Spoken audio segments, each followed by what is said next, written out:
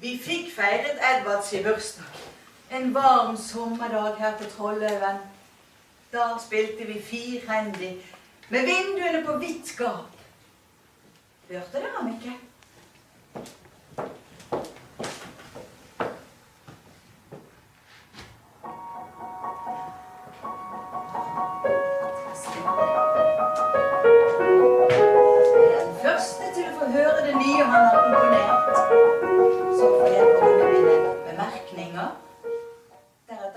Deretter vi og synger vi igjennom det. Og så er det klart til å bli spilt offentlig. Edvard, er det deg? Piken har fri i dag. Jeg må visst sette fram en skive til ham. Edvard, skal jeg sette frem igjen. Og så godt å se deg. Og så trekkfull tilværelsen er over for denne gang. Ja. Og Tonje, jeg savnet deg. Og jeg ser Gud, her er besøk. Stort besøk, ser jeg. Ja. Så hyggelig, Så går jeg der og tusler alene i dag. Så slipper hun å snakke med meg selv. Ja, Så fortell, da. Hvordan var Eiffeltårnet? Eiffeltårnet. Ja. Redselsfullt, spør du meg.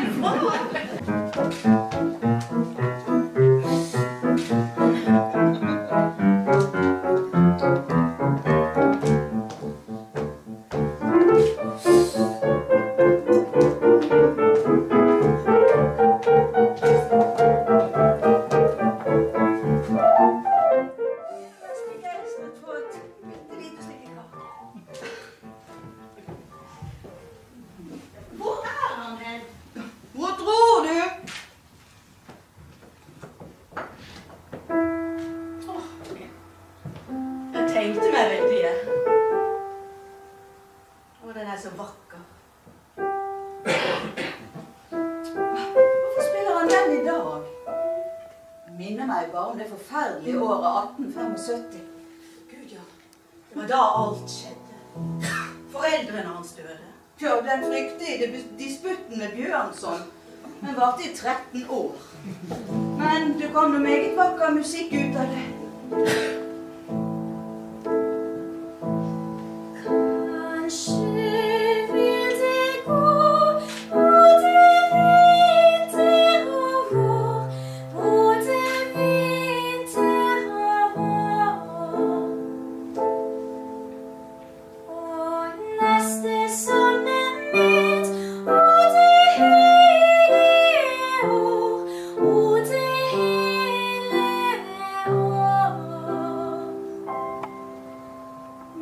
Men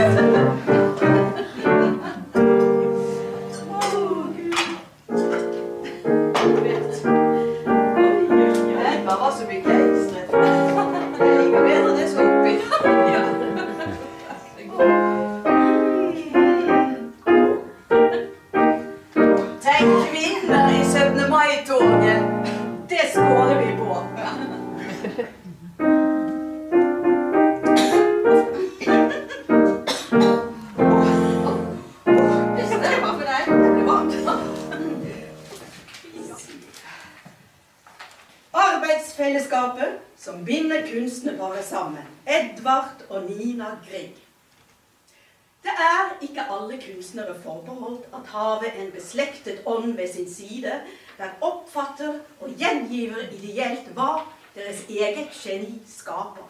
Ikke alle har det, men Grieg eier det i sin hustru.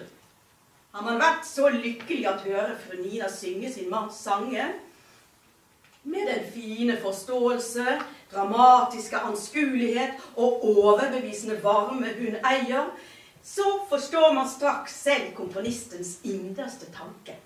Man kommer således i det rette, ideelle forhold til ham, hvor hver musikalske intensjon øyeblikkelig har gjenklang i vårt hjerte. Hvor vårt øre ikke blott oppfatter en strøm av toner hvorpå vi viljeløse vugges, men griper ideen og fastholde den i bevisst nyten. Kan du lese det der siste en gang til?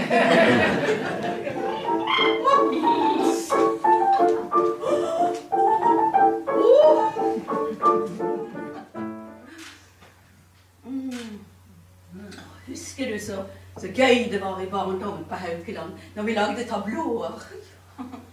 Lille Ylva, deg og meg, John og Edvard. Teater, musikk og sang. Og når vi var ungdommer, backfisher, som de sier i København, Ja, men der var vi med i syngespill. Og vaudeviller.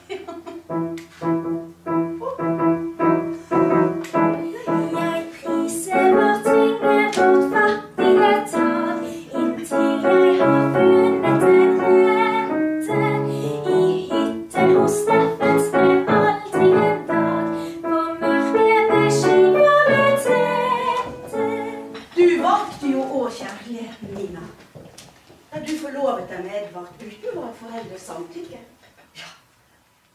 De kom ikke på bryllup engang. Ja, Mor var jo helt krakilsk. Enda hun som hadde vært gift med en omreisende teatermann. Jeg, jeg husker hun sa om Edvard at han er intet og har intet, og han lager musikk som ingen gidder å høre på. Ja, så feil kan man ta. Jeg har nå alltid visst at det var han. Helt siden han kom dryppende våt tilbake fra skolen og forbi porten hos oss. Han fikk nemlig lov å gå hjem igjen om han var blitt våt. Men jeg vet at han hadde stått under til.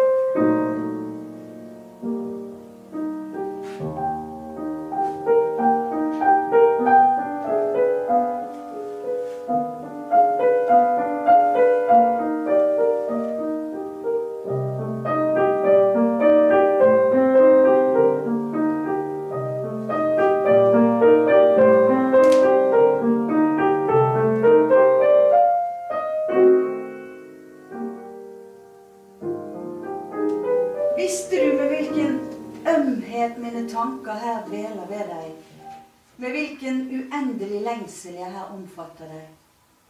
Før jeg fattet deg og all din kjærlighet, var det som turde jeg ikke løfte meg mot det høye. Det var som om all min lengsel var innestengt innenfor en grense utenfor hvilket jeg her så inn i en uendelig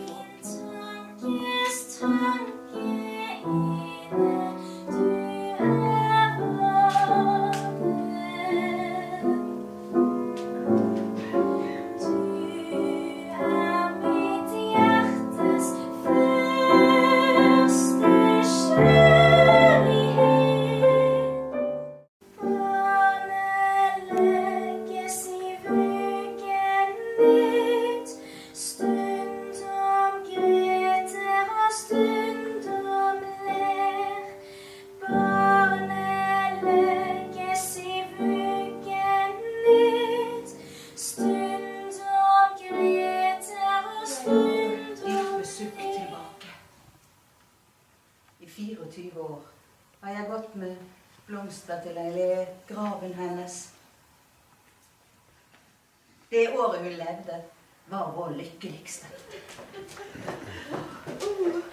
Vi. Jeg setter kannen her ute, så Edvard kan ta når han kommer opp. Ja, fint. Vi. Mm, bra. Så vi ble fullstendig overrasket da det kom 230 sangere syngende på Edvards musikk. Trollhaugen druknet i et blomsterhav.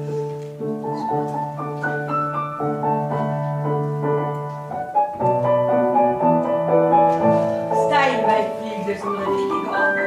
Med dobbelt pianokapper og lave ben. Skreddersydd til to småtroll, så de kunne spille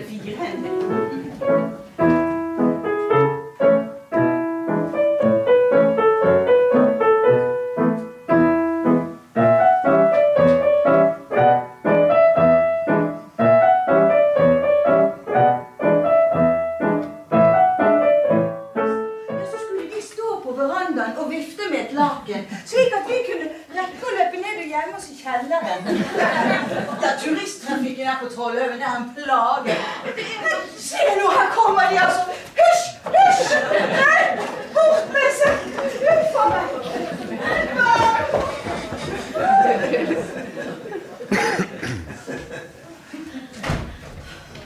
Men jeg hysj, hysj på tre språk, og så løp de!